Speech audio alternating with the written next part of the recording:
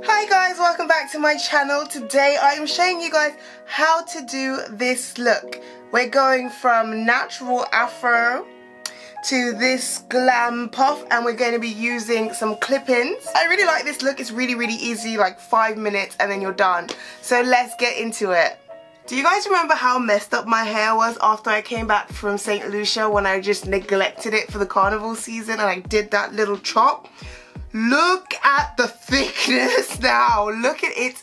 It's not transparent. It is just, and it's shrunken as well. So bear that in mind. But yeah, I've just been protecting it in wigs. I've left it alone. I do deep conditions and washes, but that doesn't take me very long, about 10 to 15 minutes and 20 minutes for a deep condition.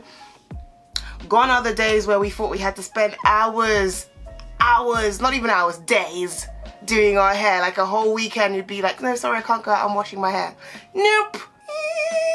I actually, I really love my afro. I really, really do. I love when it's out like this. But it's winter and we're not going to keep it out for too long because gotta protect that hair. Do you know what's funny? Rooney hasn't seen my actual afro yet. I mean, he's seen like photos and videos and stuff, but he hasn't actually got to play with it and you know, I'm saving that. I want to make a video to show my hair to him um, and get his reaction and then, yeah, see if he's to treat me like every other person who sees natural hair for the first time and just goes, oh my god, but then he'll be allowed to do that because, you know, he's my man. So, yeah, I'm just sitting next to the cute little flowers that he got me. They're just, they're just here. Let me show you guys.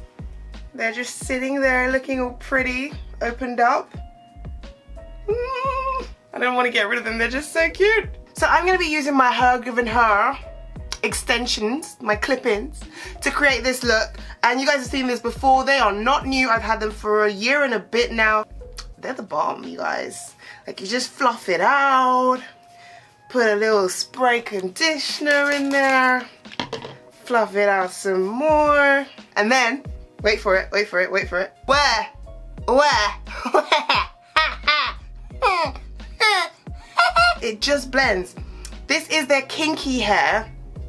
So it's closest to 4C. But if you spray it enough and you sort of pull it out, then it can be 4B ish you know so it works very well with my hair it's a little little bit lighter than my hair but that's okay because you know when the sun hits my hair and light hits it it's all different colors what I have done I have put them into twists so I've done a little Bantu knot out on my clip-ins. And it's really easy to do, you guys. Get a tiny bit of leave-in conditioner, rub it onto the hair, and of course use a comb and detangle it, you guys. But then I just twist it, like you would twist your own hair. And then once you get to the end, you literally just knot it around. And I left that for a couple of hours. And then I just opened the whole thing out. You might want to put a little bit of oil on your fingertips so you can take these out. And I'm going to make a separation in the middle of my hair. So I've just separated my hair in half. It's not neat, it doesn't have to be. I'm just going to pin these in. Then you make another separation, just a little further down. So I've got about an inch to two inches of thickness between the second one. Second one's going to go here. And again, I'm going to do the same thing. I just put a little bit of oil on my fingertips and unravel the hair. Okay, and then I'm going to put one in the front.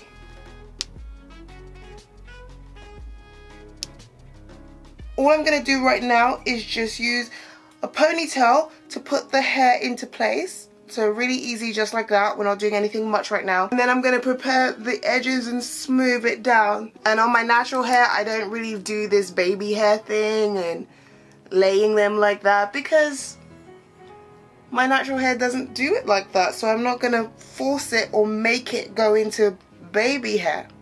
My hair is full grown adult hair. So now I get a bristle brush and I really brush that in. And now I can get the real thing that I'm going to tie my hair with and it's never usually a ponytail, it's usually a stocking. And I like to spread them out like this and then I can put it as high as I need it to go. And then I tie that into a little bow. So now I can take this out. So the extra hair is just to make the puff look much bigger. And I left my hair in an afro puff. I didn't bantu knot my hair as you guys saw. And the only reason for that is because my hair is medium length and if I bantu knotted it, it would look a lot shorter. It would look much more um, shrunken than it does now. So this is much better. And I'm just stretching out the Bantu knotted hair so then it had some curl and some texture to it. Okay guys, so this is the hairstyle. That's it. Really easy, really simple. I'm now going to just do my makeup. So this is the finished look, you guys. I hope you like it. I think it's really, really cute. I'm feeling it, if I do say so myself. Now, I'm sure if I didn't show you guys exactly how I did this, you wouldn't even know where my real hair starts and where the clip-ins end. So I hope you enjoyed the video, guys, and I will see you in my next one. Love and kisses, guys. Bye!